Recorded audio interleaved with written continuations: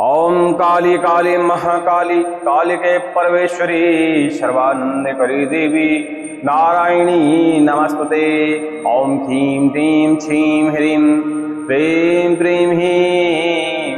ओम ह्रीं क्लीं छीं ह्रीं प्रेम प्रेम ह्रीं। सभी लोगों को जय श्री राम, जय हनुमान जी महाराज की। आज हम माता बिंदवासिनी का एक दिव्य वशीकरण मंत्र के बारे में जानकारी देने वाले हैं। माता बिंदवासिनी का यह मंत्र बहुत ही शक्तिशाली है, जिनके घर में अक्सर कलह मची रहती है। लड़ाई झगड़े होते रहते हैं, मान सम्मान की प्राप्ति नहीं हो पाती, क्योंकि एक दूसरे की कोई भी बात मानने के लिए तैयार नहीं होता। हर चौथे से पाँचवें घर में यह समस्या होती ही होती है। भाई बहन की बात नहीं मानता पति पत्नी की बात नहीं मानता, या पत्नी पति की बात नहीं मानती। माता पिता बात नहीं मानते, एक दूसरे को समझ ही नहीं पाते, और घर में कलह का कारण बन जाता है। इस वजह से बहुत सारी समस्याएँ होती हैं। जनजीवन घर परिवार पूरा अस्त व्यस्त रहता है। इसके देखिए कई कारण हैं। कई लोगों के यहाँ तो नकारात्मक ऊर्जा के प्रवाह के कारण ऐसा होता है। कई लोगों के यहाँ उच्चाटन जैसी तंत्र क्रियाएँ करी जाती हैं, उसके कारण भी ऐसा हो जाता है। और कई घरों में ग्रह दोष की समस्या होती है। ऐसे में भी घर में कलह मची रहती है। आज हम माता बिंदवासिनी का जो मंत्र आपको बताने वाले हैं, यह हम बहुत सालों से प्रयोग कर रहे हैं। और इस मंत्र की विफलता हमने आज तक कहीं नहीं देखी। इस मंत्र को यदि आप नित्य प्रतिदिन अपने दैनिक दिनचर्या में जाप करना शुरू कर देते हैं तो आपके ग्रह नक्षत्र भी शांत होते हैं, प्रेत बाधा भी शांत होती है, क्योंकि माता बिंदवासिनी का मंत्र है। कहा जाए तो प्रेत नाशक, व्याधि नाशक, संकट नाशक, रोग नाशक मंत्र ज़्यादा है। लेकिन यह घर की कलह दूर करने के लिए, सम्मोहन करने के लिए, वशीकरण करने के लिए विशेषतया प्रयोग किया जाता है। अक्सर देखा जाता है कि हम मित्र मित्र भी आपस में लड़ जाते हैं। ऐसे समय में भी इस मंत्र का व्यक्तिगत नाम से भी प्रयोग किया जा सकता है कि जैसे कोई विशेष हमारा मित्र है, उससे हमारी पट नहीं रही है रच नहीं रही है, लेकिन उसके बिना हमारा चल भी नहीं रहा है। पहले अच्छे मित्र थे और कई बार कुछ गलत फहमियों के कारण ऐसी समस्याएँ उत्पन्न होती हैं। उस समय भी इस मंत्र का प्रयोग किया जाता है। लेकिन घर में यदि नकारात्मक ऊर्जा का प्रवाह है, तब भी आप इस मंत्र का प्रयोग कर सकते हैं। घर में कलह मची रहती है, तब भी इस मंत्र का प्रयोग कर सकते हैं। घर में यदि भूत, प्रेत, डाकनी, साकनी, डाकनी की बाधा है, तब भी इस मंत्र का प्रयोग करते हैं। घर में रोग व्याधि ज़्यादा बढ़ गई है, नकारात्मक ऊर्जा के कारण तो उस समय भी इस मंत्र का आप प्रयोग कर सकते हैं। हमने कहा, सर्वगुण संपन्न मंत्र और हमारा मानना तो ये है कि इस मंत्र को नवरात्रों में जैसे सिद्ध किया जाता है, नवरात्रों में आप किसी भी दिन सिद्ध कर सकते हैं, खासकर पंचमी, अष्टमी, सप्तमी के दिन इस मंत्र का आप सिद्धिकरण कर सकते हैं, क्योंकि नवरात्रों में इसकी संख्या भी कम हो जाती है और यह मंत्र सिद्ध भी हो जाता है। लेकिन ये ज़रूरी नहीं है कि आप इस मंत्र को सिद्ध करें ही करें। इस मंत्र को हमने बताया, आप अपनी दैनिक दिनचर्या में उतार कर भी इस मंत्र का आप प्रयोग कर सकते हैं। यदि नित्य प्रतिदिन इस मंत्र का आप पाठन शुरू कर देते हैं, ज़्यादा पाठन नहीं करिए, आपके पास समय यदि कम है तो आप इस मंत्र का प्रतिदिन इक्कीस बार पाठन शुरू कर दीजिए। देखिए दसवें से ग्यारहवा दिन नहीं गुजरेगा और आपके घर में परिवर्तन नज़र आने लगेगा। यदि आपकी कोई घर में बात नहीं मानता, आपकी कोई मर्यादा नहीं करता, आपका कोई सम्मान नहीं करता, इस मंत्र के पाठन से आपके घर में तुरंत ही बदलाव आएगा और आपको यह बदलाव समझ में भी आएगा कि हमारे घर में कुछ ना कुछ बदलाव हो गया है। सबके मन में प्यार की भावना जागेगी और लास्ट में कलह समाप्त हो जाएगी। अब वह कला है नकारात्मक ऊर्जा के कारण भी हो सकती है तो नकारात्मक ऊर्जा समाप्त हो जाएगी। किसी ने उच्चाटन तंत्र जैसी क्रियाएँ कर रखी हैं तो वो भी समाप्त हो जाएगी। इसके अलावा प्रेतक बाधा, चेतक बाधा, ग्रह बाधा के कारण भी ऐसी समस्याएँ उत्पन्न होती हैं तो वो सारी समस्याएँ भी समाप्त हो जाती हैं। माता बिंदवासिनी का यह बड़ा ही दिव्य मंत्र है, और इस मंत्र का हमारा मानना है कि आपको प्रयोग करना ही चाहिए। देखिए, जब इसको आप नित्य प्रतिदिन पाठन करना शुरू कर देते हैं तो वैसे भी यह अपने आप में ही सिद्ध हो जाता है, लेकिन उसमें लंबा समय लगता है, लेकिन प्रभाव जल्दी देखने को मिल जाता है। और यदि आप उसको एक बार में ही सिद्ध करना चाहते हैं तो हमने दिन बताए हैं आपको, नवरात्रों के बीच में आप पंचमी, सप्तमी, अष्टमी ऐसे दिनों में इस मंत्र का आप शुद्धिकरण कर सकते हैं। किसी कारणवश नवरात्रि यदि निकल जाती हैं, आप समय नहीं दे पाते हैं, नहीं कर पाते हैं तो कोई बात नहीं है, आप इसको नित्य प्रतिदिन पाठ करना शुरू कर दीजिए। जब इसका मुहूर्त आए, जैसे कि होली आती है, फिर दीपावली भी है, रिठौनी एकादशी भी है, नवरात्रे हैं, गुप्त नवरात्रे हैं, बहुत सारे ऐसे मुहूर्त आते हैं तब इस मंत्र का आप सिद्धिकरण कर सकते हैं। इसके अलावा कोई विशेष सर्वार सिद्धि योग हो या ग्रहण काल हो, उस समय भी इस मंत्र का आप सिद्धिकरण कर सकते हैं। और इस मंत्र को सिद्ध करना भी बहुत आसान है। महिला हो, पुरुष हो, बच्चे हो, कोई भी इस मंत्र की साधना कर सकता है। क्योंकि बहुत सारे ऐसे मंत्र होते हैं जिनको सिद्ध करने में यदि हम सावधानियाँ नहीं बरतते। तो कभी कभी हमारी बुद्धि को, हमारे शरीर को, परिवार को कहीं ना कहीं क्षति होती है यदि हम सुरक्षा प्रबंधन नहीं कर पाते। सुरक्षा प्रबंध का मतलब है, जैसे कि आसन बांधना, घर का कीलन करना, शरीर का बंधन करना काया बंधन करना, तमाम प्रकार के बंधन होते हैं, सुरक्षा कवच धारण करना, ये सारी चीज़ें हमें अन्य मंत्रों में करनी ही करनी पड़ती हैं, खासकर शावन मंत्रों में।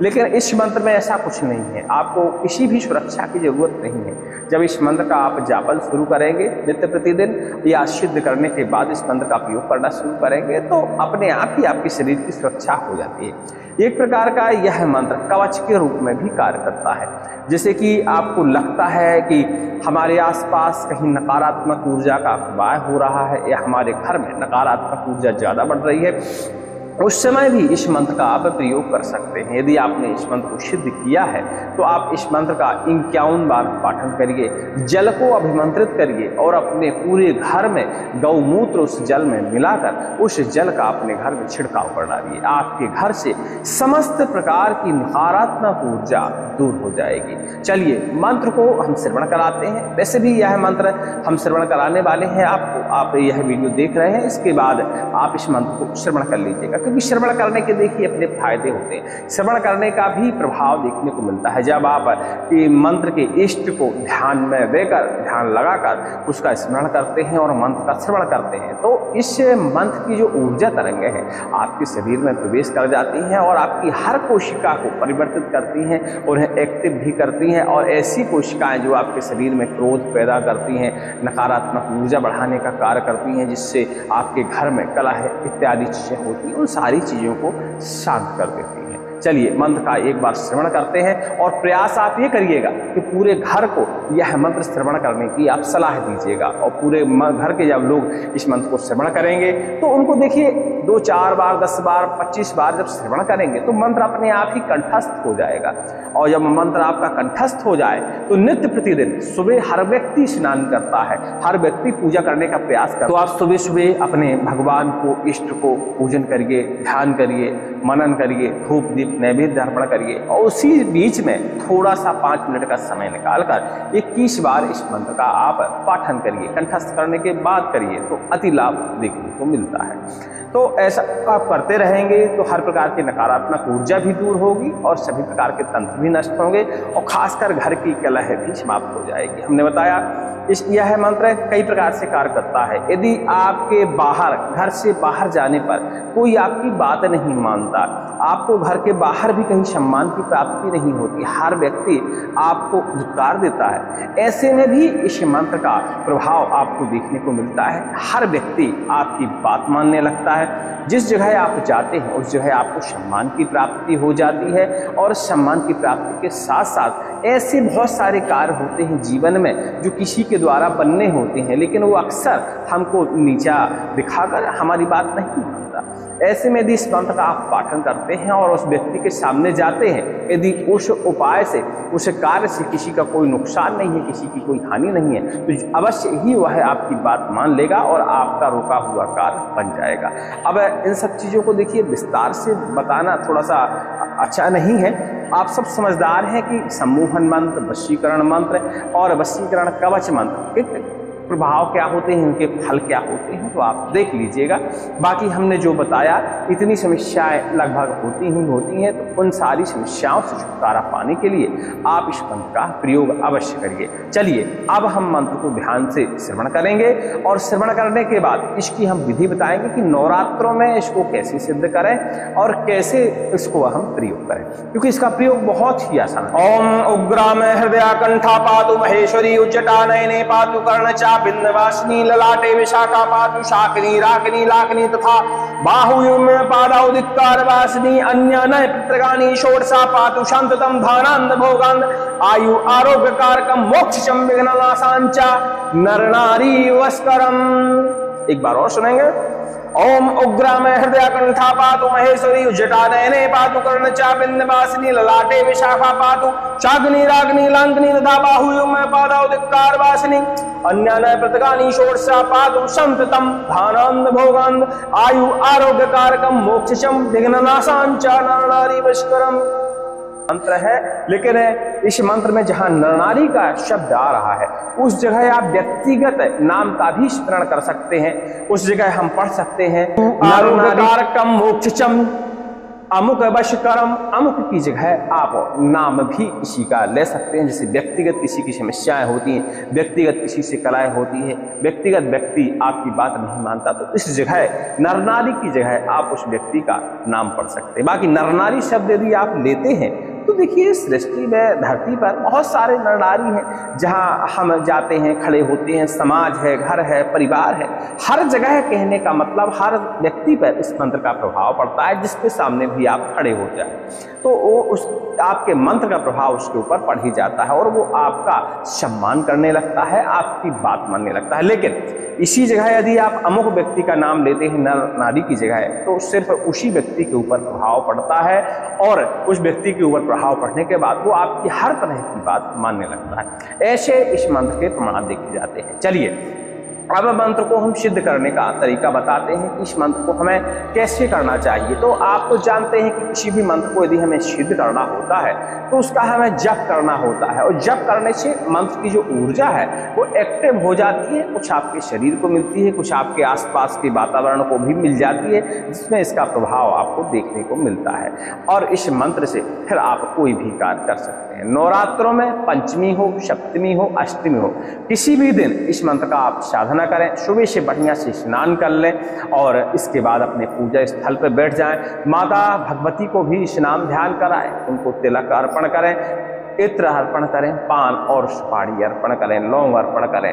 कहने का मतलब और श्रृंगार समस्त प्रकार के श्रृंगार उनको अर्पण करें। धूप, दीप, नैवेद्य, जो भी साधारण पूजा आपको आती है, ये सारी चीज़ें अर्पण करने के बाद अपने आसन पर बैठ जाएँ। आसन का यदि आपको पूजन आता है तो आसन का पूजन करें। नहीं तो अपने आसन को प्रणाम करें, उस पर जल छिड़कें और उसका तिलक करें, धूप, दीप भी उसे दिखाएँ और नैवेद्य भी उसे अर्पण करें। इसके बाद अपने आसन पर बैठ जाइए। माला आप रुद्राक्ष की ले सकते हैं, कमल गट्टे की ले सकते हैं, चंदन की माला का भी आप प्रयोग कर सकते हैं। इनमें से कोई माला आप अपनी चुन लीजिएगा। इन मालाओं का प्रयोग करना अनिवार्य है। मतलब माला हाथ में होनी ही होनी चाहिए आपको ध्यान देना है। तो जो आपको आसानी से मिल जाए या जो आपके घर में हो तो इन मालाओं का आप प्रयोग कर सकते हैं। नहीं तो बाज़ार से भी माला मंगवा सकते हैं। आजकल रुद्राक्ष की माला अमेजन फ्लिपकार्ट भी मिलती है तो आप देख लीजिएगा। इसके बाद इस मंत्र का आप जापन शुरू करिए। और जापन कितना करना है आपको देखिए, कोई चीज़ हमें पानी होती है तो मेहनत करनी पड़ती है, कष्ट भी हमें उठाना पड़ता है। तो इसका आपको 11 माला जप करना है। और 11 माला जप करने में कम से कम तीन से चार घंटे आपको लग सकते हैं, हो सकता है ज़्यादा समय भी लग जाए। तो जब आपको ग्यारह माला जब संपूर्ण हो जाए जब संपूर्ण होने के बाद आपको थोड़ी सी अग्नि जला लेनी है। प्रयास ये करना है कि वेदी हो, वेदी नहीं है तो खप्पर में भी कार्य चलेगा। और खप्पर और वेदी दोनों नहीं है तो कोई आप बर्तन ले लीजिए और उसमें बढ़िया अग्नि प्रज्वलित कर लीजिए। ज़मीन पे नहीं करना है, ठीक है? थोड़ी सी बालू भी बिछा सकते हैं उसके ऊपर भी। आप संविदा या लकड़ी रख कर उसमें अग्नि प्रज्वलित करने के बाद इस मंत्र का आप हवन कर सकते हैं। संविदा जला लीजिए। अग्नि का पूजन करिए, जो भी आपको आता हो। मंत्रोपचार ज़रूरी नहीं है। साधारण विधि से थोड़ा सा जल छिड़क दीजिए, फूल चढ़ा दीजिए, तिलक कर दीजिए, धूप दिखा दीजिए थोड़ा सा प्रसाद रख दीजिए, प्रणाम कर लीजिए और इस मंत्र का आप हवन कर डालिए। हवन कितना करना है। देखिए बिंदेश्वरी माता का मंत्र है तो इस मंत्र को आप बिंदेश्वरी माता के कोई भी बीज इंटरनेट पर सर्च कर लीजिएगा। नहीं डिस्क्रिप्शन में हम लिख देंगे, देख लीजिएगा। किसी भी बीज मंत्र के साथ पहले एक माला आपको हवन करनी है, और उसके बाद अपने इस मुख्य सम्मोहन मंत्र, वशीकरण मंत्र या वशीकरण कवच मंत्र का आपको हवन करना है। एक माला, सीधी एक माला नहीं एक बार। हवन सामग्री में आप देख लीजिएगा, तिल, जौ और हवन सामग्री जो आपकी आती है शक्कर चीनी, शहद, ये सारी चीज़ें हवन सामग्री से बनी बनाई आती है, लेकिन आप सर्च कर लीजिएगा कि हवन सामग्री में क्या क्या होना चाहिए। गुग्गुल और लोभान, इस हवन सामग्री में अनिवार्य है। बाकी हवन सामग्री बाज़ार में आसानी से बनी बनाई मिल जाती है, और नहीं आप सर्च करेंगे तो आपको मिल जाएगा कि हवन सामग्री में क्या क्या मिलाया जाता है। वो बताने का विषय नहीं है, वो आप खोज लीजिएगा ठीक है? क्योंकि छोटी छोटी चीज़ें बताएँगे तो वीडियो बहुत लंबा हो जाता है। हवन सामग्री में घी भी मिलाइए और इसके बाद आप अपने हाथों से हवन करना शुरू करिए। हवन के लिए आप माला का इस्तेमाल अब नहीं कर सकते तो कुछ चीज़ें जैसे गेहूँ के दाने हो गए, एक सौ आठ दाने या कुछ कंकड़ पत्थर, एक सौ आठ दाने, ऐसे आप किसी बर्तन में रख लीजिए और बाएँ हाथ से उस कंकड़ को उठा के अलग करते जाइएगा या गेहूँ को उठा के अलग करते जाइएगा और दाहिने हाथ से आप हवन डालते जाइएगा तो आपकी संख्या पूरी हो जाएगी। क्योंकि बाएँ हाथ से माला पकड़ेंगे आप तो वो थोड़ा सा अच्छा नहीं माना जाएगा। इस तरह आप हवन संपूर्ण कर दीजिए। हवन जब आपका संपूर्ण हो जाए, अपने आसन का एक कोना उठाइएगा और उसके नीचे थोड़ा सा जल छिड़काव करिएगा और उस जल का अपने माथे पर तिलक करिएगा। माता रानी को प्रणाम करिएगा और उसकी प्रार्थना करिएगा हे माता रानी, इस मंत्र में, इन शब्दों में इतनी शक्ति दे दें कि मेरे घर की कला शांत हो जाए। जहाँ भी मैं जाऊँ, मुझे सम्मान की प्राप्ति हो, धन की प्राप्ति हो। इस तरह आप बढ़िया से प्रार्थना कर लीजिए। परिवार में सुख मिले, रोग मुक्ति मिले, समस्त प्रकार की प्रार्थनाएँ करने के बाद अपने आसन को आप छोड़ सकते हैं। लेकिन आप ध्यान देने वाली बात है कि जो भी आपने हवन किया है, उसकी भस्मी तो बचेगी ही बचेगी, क्योंकि अग्नि जली थी तो भस्मी तो स्वाभाविक है, होगी ही होगी। उस भस्मी को किसी कपड़े के सहारे, किसी छलनी के सहारे बढ़िया से छान के आपको रख लेना है, लाल रंग की पोटरी में बाँध के उसे अपने पूजा घर में हमेशा ही स्थापित करके रखना है। कुछ भस्मी उसमें से थोड़ी, यदि ज़्यादा है, कुछ भस्मी आप विसर्जन कर सकते हैं। बाकी थोड़ी भस्मी आप रख सकते हैं एक लाल रंग की पोटरी में बाँध कर अपने पूजा घर में। अब इस मंत्र का ऐसा नहीं है कि सिद्ध हो गया तो बस आपका कार्य हो गया। इस मंत्र को बस सिद्ध करने के बाद नित्य प्रतिदिन आपको पाठन शुरू कर देना है। यदि आपके घर में कला है तो नकारात्मक ऊर्जाओं का वास रहता है। नित्य प्रतिदिन आप पाठन करना शुरू कर दीजिए। ग्यारह बार, इक्कीस बार, इक्यावन बार, अपने समय अनुसार इस मंत्र का आप पाठन शुरू कर दीजिए। आप देखेंगे कि शायद है दस से ग्यारहवा दिन गुजर पाए और आपका इसका परिवर्तन नज़र आने लगेगा। क्योंकि हमारे जीवन में भी इसका परिवर्तन देखने को मिलता है। हमने इस मंत्र का प्रयोग भी किया है और नित्य प्रतिदिन इस मंत्र का ज़्यादा नहीं कर पाते, लेकिन ग्यारह बार हम जाप इस मंत्र का ज़रूर करते हैं अपने पूजा करते समय। ये तो हो गए घर की कलह नाश करने के लिए, रोग मुक्ति करने के लिए। अब बात आती है कि जैसे किसी के ऊपर विशेष रोग है, आपको कोई उपाय नहीं समझ में आ रहा। तो जो हमने भस्मी आपको रखवाई थी, वो एक चुटकी भस्मी ले लीजिए और माथे पे रोगी के लगा दीजिए, जिसको लगता है प्रेत बाधा है, तंत्र बाधा है, किसी भी अन्य प्रकार की बाधा है थोड़ी सी भस्मी लगा दीजिए, थोड़ी ही जबान में चिटा दीजिए, गले में तिलक कर दीजिए। ऐसा करने से उसके शरीर के अंदर की तमाम प्रकार की नकारात्मक ऊर्जाएँ नष्ट हो जाएँगी या प्रेत बाधा होगी तो आपको वहाँ से भाग जाएगी। ये हो गई देखिए प्रेत बाधा को हटाने वाली बात। लेकिन आप किसी को व्यक्तिगत यदि सम्मोहन करना है तो आपको ये ध्यान देना है कि इस मंत्र में जहाँ नरनारी लगा है, वहाँ पे आपको व्यक्ति का नाम लेके सिद्ध करना पड़ेगा। पूरा विधि विधान सेम है, सब कुछ सेम है। और जब आपका मंत्र ग्यारह माला हो जाए और उसका दस प्रतिशत हवन हो जाए तो भस्मी जो है थोड़ी सी भस्मी लेना है। और फिर उस व्यक्ति को आपको तलाशना है, जिस व्यक्ति का आपने नाम ले रखा है उस व्यक्ति के पास आप खड़े हो सकते हैं और खड़े होने के बाद या जो भी आपकी व्यवस्थाएँ हो, जो भी आपको करना हो, वो आप करते रहिएगा। उस व्यक्ति के सिर पर यही मंत्र का पाठन करते हुए या इस मंत्र का पाठन पहले से करके रख लीजिए, एक चुटकी भस्मी। उसके शरीर में उस भस्मी को स्पर्श कराना है चाहे तो उस भस्मी को आप खिला भी सकते हैं। क्योंकि अब संविदा है रश्मि है, उसमें कोई ऐसे विशेले तत्व तो नहीं है कि नुकसान करें। आराम से उसको आप खिला सकते हैं। बस ये ध्यान देना है कि भस्मी जो पूरी तरह जली हुई होनी चाहिए, कोयला नहीं होनी चाहिए, ठीक है? और उसको आप खिला सकते हैं। आप देखेंगे कि शायद है बहत्तर घंटे से ऊपर एक घंटा भी बढ़ पाए और इसका प्रभाव आपको देखने को मिल जाएगा। और क्या क्या हो सकता है आगे? वो आप समझदार है। मंत्र डिस्क्रिप्शन में लिखा हुआ मिलेगा, दोनों मंत्र, जो बिंदेश्वरी माता का बीज मंत्र आपको चाहिए ज़रूरत के लिए और ये वाला मंत्र, दोनों आपको मिलेंगे। बाकी इस मंत्र को हम श्रवण करने के लिए भी उपलब्ध करा रहे हैं तो आप श्रवण कर लीजिएगा। श्रवण करने से भी इस मंत्र से नकारात्मक ऊर्जा दूर होती है और घर की जो माहौल होता है, उसमें इसका परिवर्तन आता है। तो श्रवण करके देखिएगा, आपको लाभ अवश्य होगा। लेकिन सिद्ध कर पाते हैं, नहीं कर पाते, समय मिलता, नहीं मिलता। लेकिन मंत्र को कंठस्थ करके नित्य प्रतिदिन जापन ज़रूर शुरू कर दीजिएगा। आप यदि शत्रु से परेशान है, तंत्र बाधाओं से परेशान है पेट बाधा से परेशान है बार बार कोई उच्चाटन क्रिया करवाता है तो सारी चीज़ें रुक जाएँगी आपके नित्य प्रतिदिन पाठन करने से। और इसका नित्य प्रतिदिन पाठन करने में ज़्यादा रिज़ल्ट मिलता है और अच्छा रिज़ल्ट मिलता है। बस ये है कि थोड़ा सा समय लग जाता है, लेकिन रिज़ल्ट मिल जाता है। और सिद्ध करने में क्या है? तत्काल रिज़ल्ट मिलता है। तो दोनों काम है थोड़ा सा समय लगेगा, लेकिन नित्य प्रतिदिन पाठ इसका करते ही रहना चाहिए ताकि मन ऊर्जा बरकरार बनी रहे। सभी को जय श्री राम, जय हनुमान जी महाराज की, और अधिक जानकारी के लिए टेलीग्राम में आप संपर्क कर लीजिएगा।